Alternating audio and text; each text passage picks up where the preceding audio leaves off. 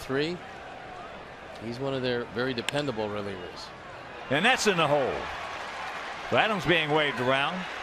McLouth with the throw is high. So everybody advances.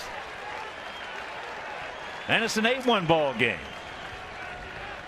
The dreaded leadoff walk has crossed home plate. We told you early in this one that they might hesitate a bit on Jones and Markakis, but Joe McEwing was going to run on McLouth every chance he got.